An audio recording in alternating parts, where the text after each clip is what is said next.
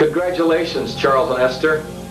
I'm delighted to be a part of helping to celebrate 26 wonderful years as superintendents of the North Carolina District. Dolores and I have been guests with you on several occasions and we've learned to know you as friends and almost like family. And uh, to have an opportunity to join in this celebration is a real privilege for me. Uh, in fact, you folks have been superintendents of the North Carolina District as long as we pastored Evangel Temple here in Akron. So we remember some of the same feelings we had about young people we saw grow up in our church and know that you must have them about young people you've seen grow up in the ministry there. As you move through this transition time in your life and close certain doors of the past, may God open exciting doors for you for the future. For he's the one that openeth and no man shutteth, and shutteth and no man openeth. And I join with a host of your friends today, and Dolores joins with me in sending you our love and our congratulations on this very special occasion in your life.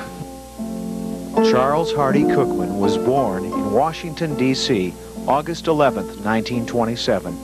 He attended Full Gospel Tabernacle throughout his childhood and teen years. He began his ministerial training in 1945 at Metropolitan Bible Institute, North Bergen, New Jersey. He later transferred to Southeastern Bible College, Lakeland, Florida, where he graduated in 1948. That same year, he married his childhood sweetheart, Esther Grogan, also a Southeastern graduate the Cookmans began their ministry at Timber Ridge, West Virginia, a missions church located north of Winchester, Virginia. While there, they opened another church at Capon Springs, West Virginia. In 1952, they organized an Assembly of God in Staunton, Virginia, where they remained for five years. Yeah, I remember the day in Staunton, Virginia when we loaded that old farm truck and you drove away heading for Charlotte, North Carolina. Boy, the years have passed. Things have changed. A lot of uh, good times, a lot of good fellowship.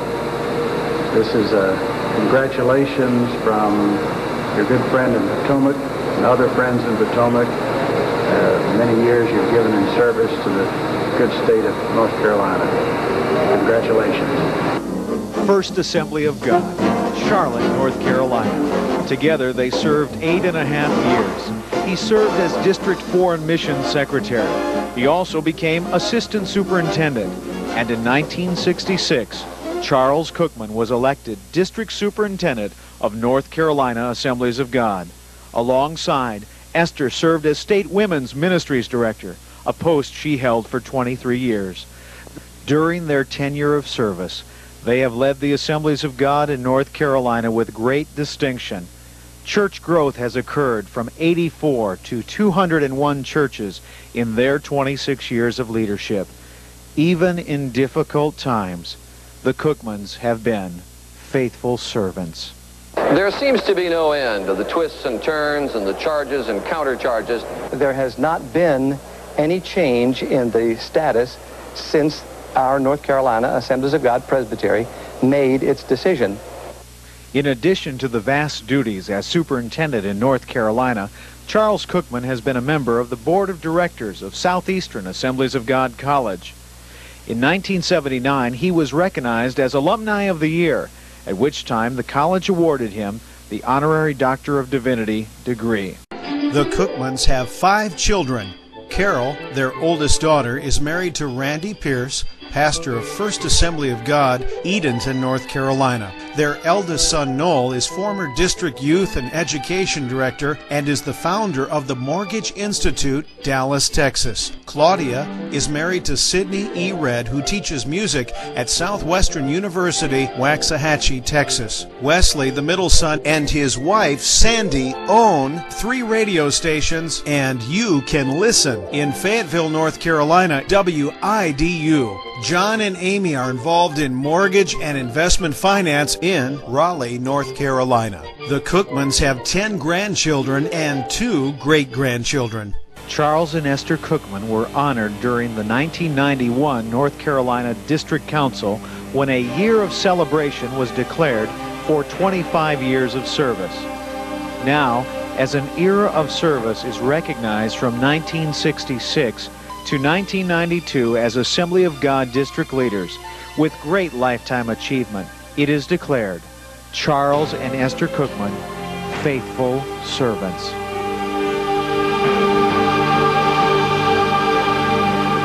We're pilgrims on the journey of the narrow road.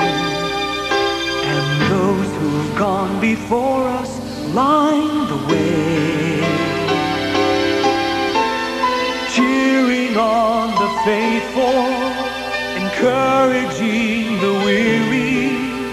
Their lives a stirring testament to God's sustaining grace.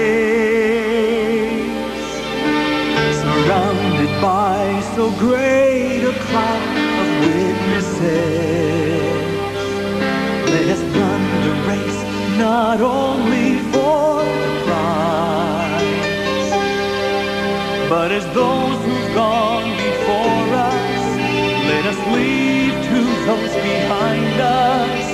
The heritage of faithfulness passed on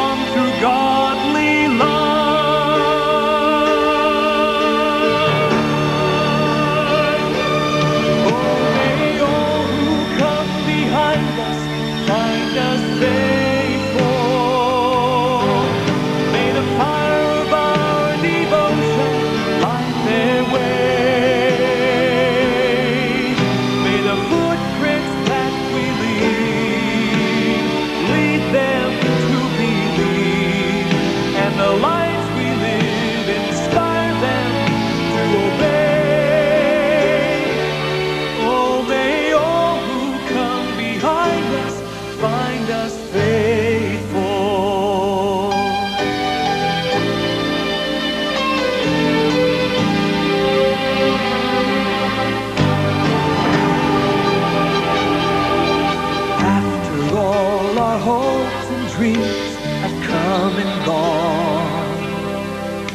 And our children sift through all we've left behind. May the clues that they discover and the memories they uncover become the light that leads them to the road we each must find.